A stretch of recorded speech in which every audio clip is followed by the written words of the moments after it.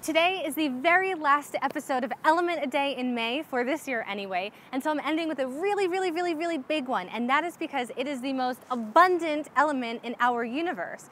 But in actuality, it is really the tiniest element on the periodic table, and that is because it only has one proton and one electron. Yes, hydrogen is the only element that does not have a neutron in its nucleus. Hydrogen is a gas, and true to its name, it is used to fuel our sun. And this is because in the core of the sun, it's where the process starts that provides heat and light down to us here on Earth.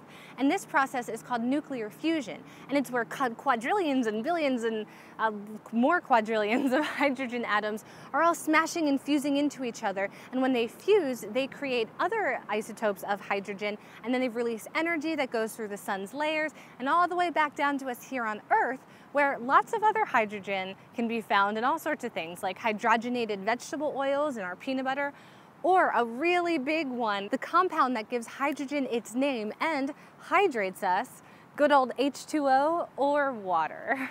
And that's a wrap on Element a Day in May, you guys. Thank you so much again for watching. Uh, if you haven't watched the whole playlist, go back and watch them. They're there on the YouTube account for you to see.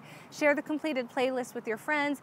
And if you are not subscribed to Everyday Science on YouTube yet, I have so many cool videos planned for this year. Please subscribe for science, and I will catch you later.